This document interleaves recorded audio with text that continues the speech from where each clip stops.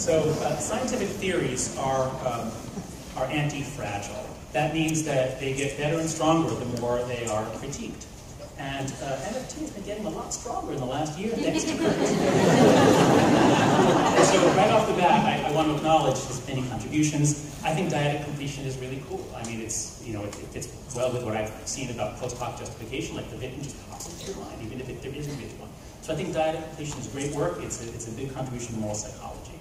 Um, I think Kurt has shown that care harm is the most common foundation in daily life, and that's true for conservatives as well as liberals. Uh, at least especially in America and Western cultures, uh, the effect is quite large. I have been saying that since my dissertation, that we will harm this culture.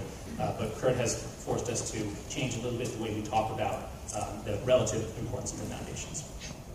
Uh, and third, I agree with him that the CAD model uh, is overstated. Um, back in the 90s, I was really interested in basic emotion because there are all these intriguing connections between these moral emotions and moral judgments. And so Paul Rozin and I wrote this CAD paper, and we were hopeful that this was going to be the way to approach moral psychology, and Daphne Count and I were going to write a paper on three other emotions, uh, but I couldn't really get it to work out neatly. It, it, Kurt's right that it's not a one-to-one -one relation between emotions and judgments or behaviors. So by the 2000s, I moved on to smaller bits of cognition, to intuitions, moral intuitions, uh, which I defined as the sudden appearance in consciousness of a moral judgment, including an affective valence. Um,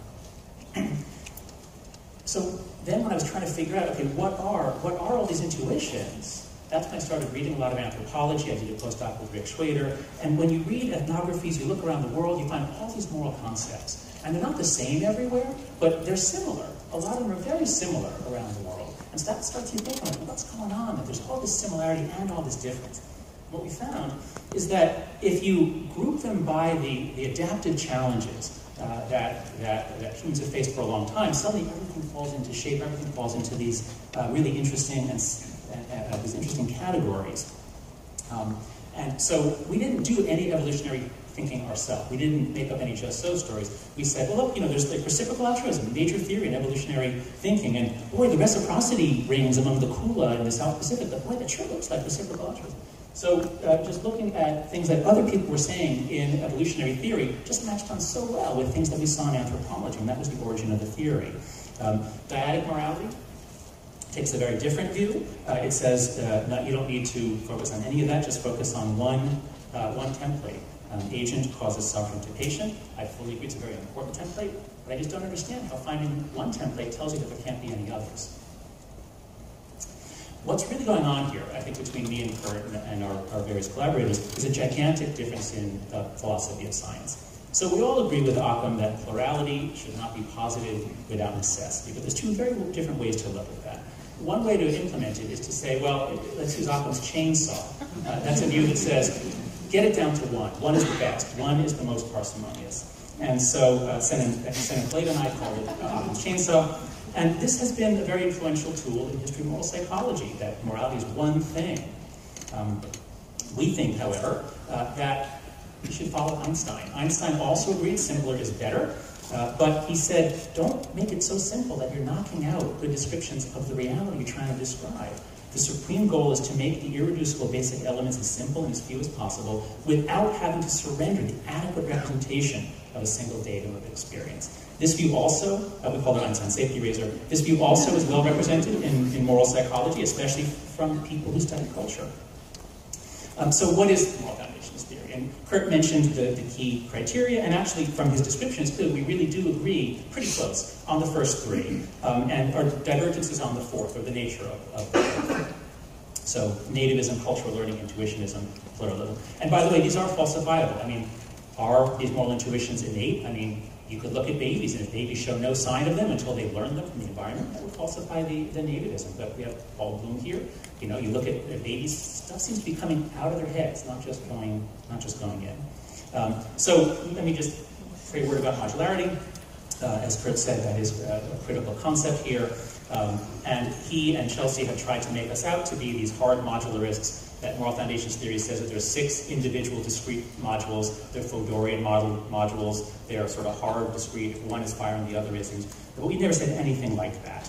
Um, we have long been searching for the foundations of intuitive ethics. What I think Kurt hasn't really grappled with, or I think hasn't acknowledged, is that the, that the the uh, foundations are developmental constructs. It's from a cultural developmental theory.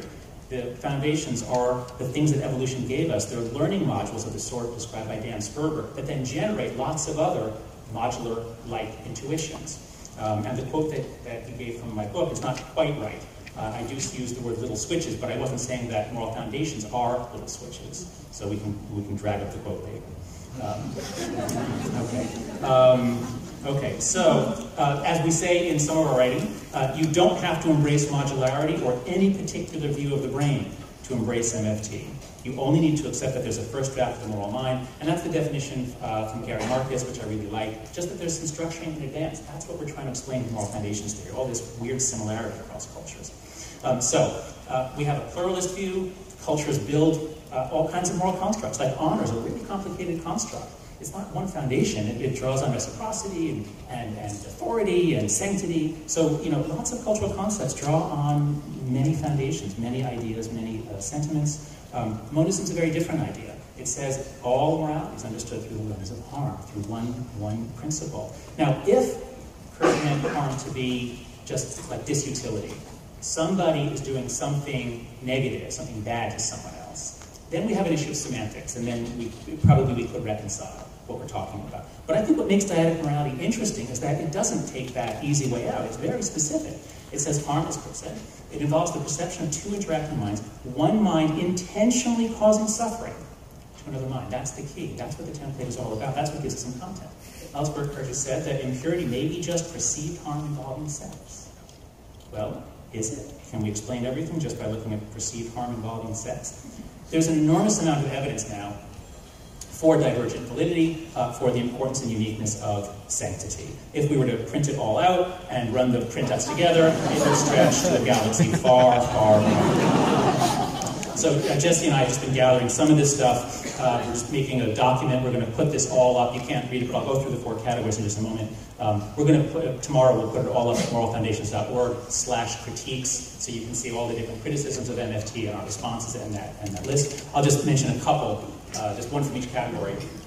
So, uh, one, that sanctity outpredicts uh, harm. When Sena Koleva led our effort to look at moral judgments that people made about cultural issues, uh, and we found that when we were asking people about all these sorts of things, uh, what happened is that you actually can predict people's cultural judgments uh, pretty well using moral foundations theory. So obviously, if you know where people are on a 1 to 7 scale of left-right, obviously you know something about their attitudes about abortion, gay marriage, etc. So no, no doubt about that. But do you gain something by adding in moral foundations theory, by adding in the MFQ? You see that? Okay. Um, and the answer is, yeah, you gain a lot. And it's overwhelmingly sanctity. I mean, this really, it surprised us. It jumped sanctity was like the magic foundation. It's like, you know, if you want to predict, you know, and actually I'm writing a paper right now with Emily Ekins, um, you know, support for uh, Trump and Cruz and all those guys. I mean, Cruz especially, because, you know, sanctity really matters for predicting uh, things above and beyond others. And it's not just sex plus harm. So flag burning, what's wrong with flag burning? Obviously, if you're conservative, you're more against it, but it's not that you're harming the flag. Again, through that, that whole column, how sensitive you are to issues of care harm doesn't add on to prediction, but how much you see invisible essences of the sort that Jeremy was talking about, that really does. So if you see the flag as a sacred object that has its own inner essence that must be protected, well, that's, that's what's really going on. Same with gambling. So this is not, the culture is not just harm plus sex. Um, uh, Kurt also mentioned this new study from, uh, uh from Morteza and Jesse. Uh, so, uh, you know, purity predicts, harm if you want to look at social networks. And Jesse says that you did correct for weirdness, or what was it in the, in the second study? Yeah. So, okay. So, I mean, we can go, you know, that, you know, all this, we can find out the details, but in, in, the big picture, there's just tons and tons of evidence for divergent validity. Another set of studies, uh, Matt, uh, Matthew Feinberg and Rob Willer have shown, and many others, uh, that sanctity can do things. You can do things with sanctity. You can change people's minds. You can affect the world. And if you don't know about it, if you're just going to make your arguments in terms of consequences and harm, you don't get that far. Um, another set of studies from uh, Alek Chakroff and Liane Young, they've done a lot of studies showing that the two different kinds of issues are processed differently. So cognitively, in terms of how we attribute intention, intentionality, how they interact with other factors. Um, Uh, and uh, and in, the, in, many of their studies, the differences remain after they control for severity and weirdness. Um, they've recently traced the differences back to brain activity in the RTPJ. So there's a huge amount of research using very different methods. Yeah, a lot of them do use the weird scenarios, but there's a lot of studies that don't. Um, and finally, conservatives value sanctity more overall. So uh, I was an author on the paper with, uh, with Jeremy about the, the liberal sanctity. yeah, we all have these. we all have these taste buds. We all have this ability to make to see things as sacred or uh, uh, sanctified. Uh, conservatives just use it more on average. And I think the Hofmann study with, uh, with Linda Skitka and others here is the gold standard now. This is what they found. Some of you saw this in the talk yesterday.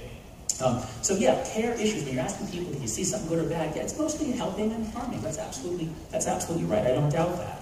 Um, but um, the, the other moral foundations added a lot, and all the differences that we predicted showed up. Uh, conservatives really did use sanctity. They reported more sanctity judgments both on the good and the bad side. So I think this is a, a quite good validation from, from, uh, from a team that had nothing to do with moral foundations theory for all, all of our major claims. And let me note, obviously the care harm bar is the biggest, but again, I've been saying that since 1993. We live in a harm-based society. We live in a secular society that's overwhelmingly about harm.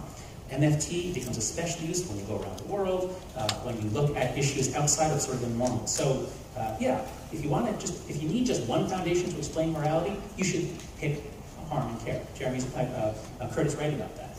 But you don't have to have just one. You're allowed to have more. So, uh, in conclusion, um, I think um, Kurt says that uh, Kurt says that harm is a lens. Uh, it's, it's a lens that, that we can look through, and I think that's right and that's fair. But there are other lenses. I think sanctity is a lens too. And the question that we face in the field of moral psychology is, should we take away that lens? Should we stop looking through that lens? We just see it as just, they're just varieties of harm.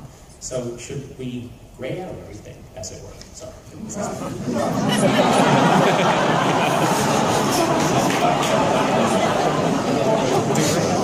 so, so I'm just, you know, look around. I mean, look around the world. The world is going to hell, it seems. And a lot of it has to do with issues of sanctity, and things that, you know, if you don't understand why the world is going to hell, then probably you, you know, I mean, this is at least a part of the story. So Donald Trump, what on earth is going on with Donald Trump?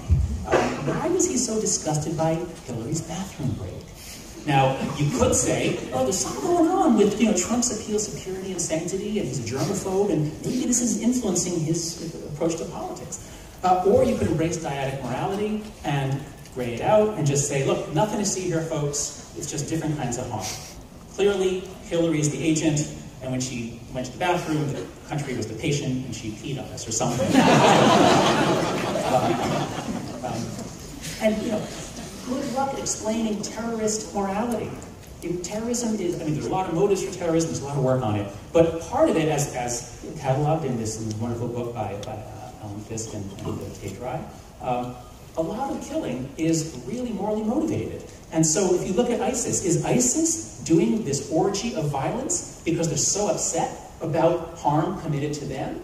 Or is there something else going on with the sanctity of their land, with killing infidels? Um, so again, I think you need it to understand. So um, in conclusion, our advice is stay away from Occam's chainsaw. Um, uh, embrace Einstein's safety razor instead. Uh, and I think Nick Kristof sums it up beautifully in a recent column, describing the moral controversies and the massive misunderstandings that we're seeing on a lot of our campuses. What's going on? Uh, so Nick channeled Isaiah Berlin, who's really the patron saint of Rick Shweder, Rick's, Rick's favorite philosopher, um, and the patron saint of pluralists everywhere. Um, Isaiah Berlin argued that there was a deep human yearning to find the one great truth. In fact, he said, that's a dead end.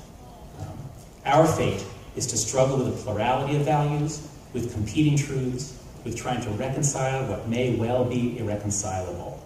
That's unsatisfying, it's complicated, it's also life. Thank you.